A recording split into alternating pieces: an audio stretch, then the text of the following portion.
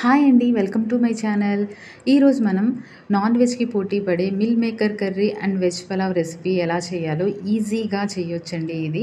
నేను చూపించబోతున్నాను. సో నా స్టెప్స్ని ఫాలో అయ్యారంటే మీరు కూడా చాలా ఈజీగా ఈ సండే ఈ రెసిపీ చేసుకోవచ్చు. సో ఇప్పుడు మనం వీడియోలోకి వెళ్ళిపోదాం. వి ఫస్ట్ వచ్చేసి మనం మిల్ మేకర్ కర్రీ చేద్దామండి. మిల్ మేకర్ కర్రీ కోసం నేనైతే ఒక cup soya chunks or meal maker తీసుకున్నాను. వాటిని హాట్ వాటర్లో ఒక పదిహేను నిమిషాలు కొంచెం ఉప్పు వేసి నానబెట్టుకున్నానండి.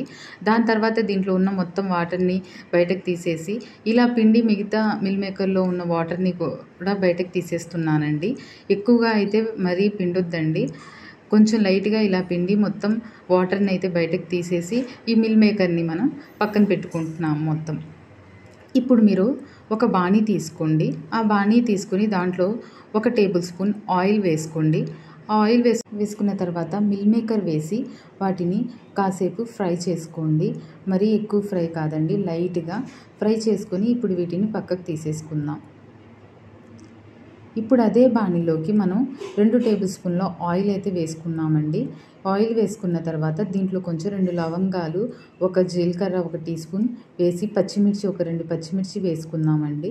ఆ పచ్చిమిర్చిని కొంచెం ఫ్రై చేసుకుందాము. పచ్చిమిర్చి కూడా ఫ్రై అయిపోయిన తర్వాత దీంట్లోకి ఒక ఆనియన్ వేసుకుంటున్నానండి. ఇలా ఆనియన్ అయితే చిన్నగా మనం కట్ చేసుకోవాలి. ఇప్పుడు ఈ ఆనియన్స్ కూడా గోల్డెన్ కలర్లోకి వచ్చే వరకు మనం ఫ్రై చేసుకోవాలండి. ఆనియన్స్ గోల్డెన్ కలర్లోకి వచ్చేసిన తర్వాత ఇప్పుడు మనం దీంట్లో ఒక స్పూన్ వచ్చేసి అల్లం వెల్లుల్లి పేస్ట్ వేసుకుంటున్నాను. ఇప్పుడు వచ్చేసి ఒకటి ఒక స్పూన్ వచ్చేసి కొబ్బరి ధనియాల పేస్ట్ వేసుకుంటున్నానండి. ఇప్పుడు మొత్తం దీంట్లో ఈ మసాలాల్లో ఉన్న పచ్చివాసన పోయే వరకు మనం ఫ్రై చేసుకోవాలి. దీంట్లో మనం కొంచెం కరేపాకు కూడా యాడ్ చేసుకోవాలండి. కరివేపాకు యాడ్ చేసుకున్న తర్వాత ఒక మీ రెండు మీడియం సైజ్ టొమాటోస్ని ఇలా పేస్ట్లా చేసుకొని ఆ పేస్ట్ దీంట్లో వేసుకుంటున్నానండి. ఇప్పుడు ఈ పేస్ట్ కూడా వేసుకున్న తర్వాత మనం ఒక టూ టు త్రీ మినిట్స్ పాటు మీడియం ఫ్లేమ్ మీద పెట్టి ఈ టమాటా పచ్చివాసన పోయే వరకు బాగా ఫ్రై చేసుకోవాలి. చూడండి ఇలాగా మనకు నూనె అనేది బయటకి రావాలండి. ఇలా వచ్చిన తర్వాత కొంచెం పసుపు ఉప్పు టేస్ట్కి తగినంత కారం. మేము ఎక్కువ స్పైసీ తింటాం. అందుకే నేను కొంచెం కారం ఎక్కువ వేసుకున్నాను. మీరు తక్కువ వేసుకోవచ్చు. ఇప్పుడు ఈ మొత్తం ఫ్రై చేసేసుకోండి. ఒక టూ మినిట్స్ పాటు. ఇలా ఈ మొత్తం ఫ్రై అయిపోయిన తర్వాత దీంట్లో ఒక గ్లాస్ వాటర్ వేసేసుకోండి.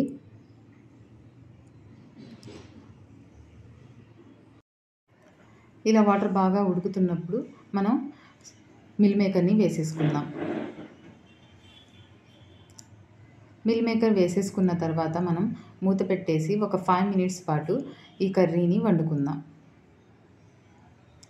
దీంట్లో కొంచెం పెరుగు కూడా బా వేసుకుందామండి. ఒక టేబుల్ స్పూన్ అయితే పెరుగు వేసుకున్నాను.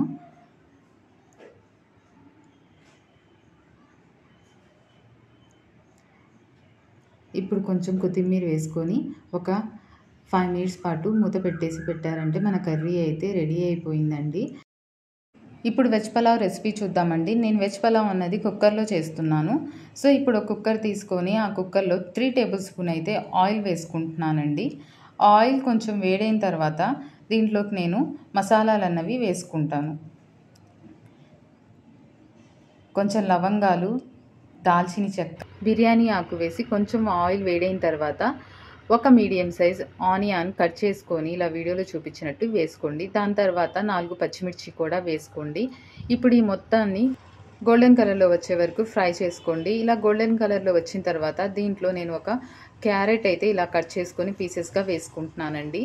ఆ క్యారెట్ కూడా మనం కొంచెం మెత్తగా అయ్యే వరకు ఫ్రై చేసుకోవాలి. ఆ క్యారెట్ కూడా మెత్తగా అయిన తర్వాత దీంట్లో కొంచెం సాల్ట్ వేసుకోండి. పసుపు కూడా వేసుకోండి. ఆ పసుపు కూడా వేసుకున్న తర్వాత వీటిని మొత్తం మళ్ళీ కాసేపు ఒక వన్ మినిట్ వండుకోండి. వండుకున్న తర్వాత ఇప్పుడు దీంట్లో మనం మిల్ మేకర్ వేసుకుంటున్నామండి. నేను కర్రీలో కొన్ని వేసి కొన్ని బిర్యానీలో వేద్దామని చెప్పేసి పలావ్లో పెట్టుకున్నాను. సో ఈ మిల్ మేకర్ కూడా మొత్తం మసాలాలు అద్ది అది కూడా కొంచెం లైట్గా ఫ్రై అయ్యే వరకు ఇలా ఒక వన్ మినిట్ పాటు లో ఫ్లేమ్ మీద ఫ్రై చేసుకోండి.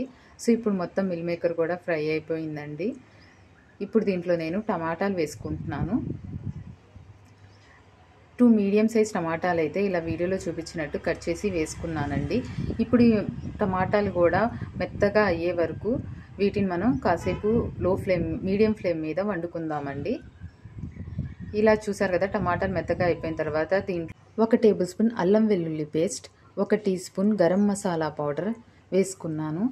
వీటిని కూడా బాగా మనం పచ్చివాసన పోయే వరకు అల్లం వెల్లుల్లి పేస్ట్ వాసన పోయే వరకు ఫ్రై చేసుకుంటామండి. ఇప్పుడు దీంట్లో నేను కొబ్బరి ధనియాల పేస్ట్ కూడా వేశాను. కొబ్బరి ధనియాల పేస్ట్ వేయడం వల్ల త్వరగా కింద పట్టేసిద్దండి. సో అందుకే మనం గరిటెతో దాన్ని ఎప్పుడూ కలుపుతూ ఉండాలి కింద పట్టేయకుండా. సో కావాలంటే మీరు కొంచెం వాటర్ వేసుకోండి. ఆ తర్వాత ధనియాలు పుదీనా వేసేసుకున్నాను.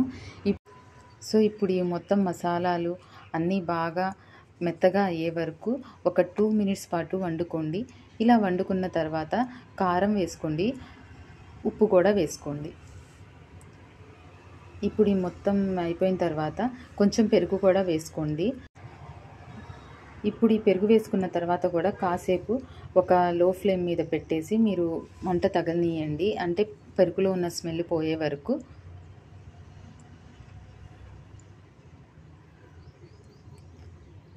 ఇప్పుడు ఈ ఈ మసాలాలన్నీ బాగా వండేసుకున్న తర్వాత దీంట్లో నేను ఆల్రెడీ నానబెట్టి పెట్టుకున్న ఒక గ్లాస్ బియ్యం వేసుకుంటున్నానండి. ఒక గ్లాస్ బియ్యాన్ని మనం ఒక ఫిఫ్టీన్ మినిట్స్ ముందు నానబెట్టి పక్కన పెట్టుకొని ఇప్పుడు మొత్తం దాంట్లో ఉన్న వాటర్ని స్ట్రెయిన్ చేసేసుకొని ఆ బియ్యాన్ని దీంట్లో వేసుకుంటున్నామండి. ఆ బియ్యం వేసుకున్న తర్వాత నేను వాటర్ వేసుకుంటున్నాను. వాటర్ పర్టికులర్గా ఇంత గ్లాస్ అని అయితే నేను వేసుకోలేదండి. చూసారు కదా వీడియోలో చూపించినట్టు ఇలా కొలత చూసి చేతితో చూసి వేసుకున్నాను. ఇప్పుడు దీంట్లో సగం చెక్క నిమ్మకాయ రసం వేసుకున్నానండి. ఇప్పుడు కుక్కర్ మూత పెట్టేస్తున్నాను. కుక్కర్ మూత పెట్టేసిన తర్వాత ఒక టూ విజిల్స్ అండి చాలు. టూ విజిల్స్ వచ్చిన తర్వాత మనం ఆఫ్ చేసి చేసుకోవచ్చు. సో ఇప్పుడైతే మన వెజ్ పలావ్ అన్నది రెడీ అయిపోయిందండి. ఒకసారి మూత చేసి చూద్దాం ఎలా ఉందో. సో చూసారు కదా చాలా చాలా టేస్టీగా ఉండిందండి. దీంట్లో మీరు కావాలనుకుంటే ఆలు వేసుకోవచ్చు పచ్చి బఠానీ వేసుకోవచ్చు. సో మేమైతే మా ఇంట్లో ఏవైతే అవైలబిలిటీలో ఉన్నాయో అవి వేసుకొని నేను చేశానండి. నా రెసిపీ ఎలా ఉందో నాకు కామెంట్స్లో చెప్పండి. అండ్ ఈ సండే మీరు కూడా ఒకసారి మిల్ మేకర్ కర్రీ అండ్ ఈ స్టైల్లో వెజ్ పలావ్ ట్రై చేసి నాకు చెప్పండి ఎలా వచ్చిందో.